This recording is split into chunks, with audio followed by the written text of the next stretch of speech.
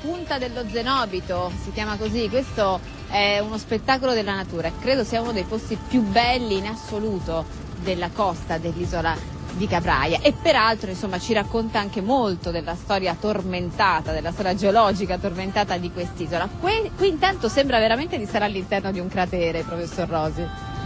Sì, questa è la punta meridionale dell'isola eh, dove affiorano i, i prodotti eruttivi dell'ultimo, del più giovane dei diversi centri eruttivi che hanno portato alla costruzione dell'isola di Capraia.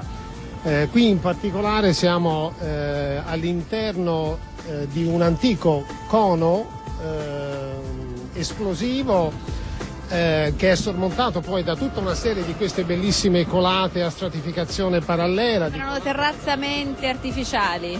Sì, hanno una regolarità che è assolutamente straordinaria, quasi inusuale per l'ambiente vulcanico, mentre qui alla nostra sinistra abbiamo proprio l'interno del cratere eh, riempito della lava che è rimasta all'interno del condotto vulcanico che è solidificata nel condotto vulcanico. Questa tavolozza di colori esterni ovviamente si specchia su un mare particolarmente trasparente con un fondale altrettanto vario che quindi si accende anche in questo caso di colori bellissimi, straordinari. La natura geologica di quest'isola, tormentata sicuramente, una storia difficile fin dall'inizio, anche se è un'isola giovane.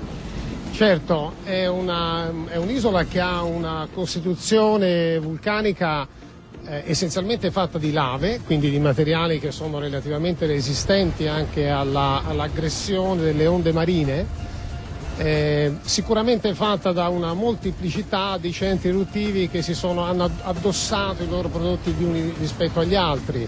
Il vulcano che ha dato origine a quest'isola dov'è?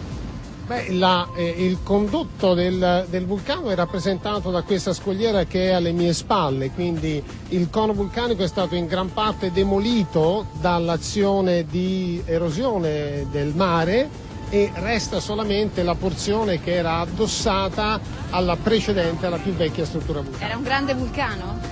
Era sicuramente il più grande vulcano che eh, esiste oggi in Toscana eh, come dimensioni e sicuramente se comprendiamo anche la parte subacquea è superiore alla, al Monte Amiata che gli è secondo come importanza.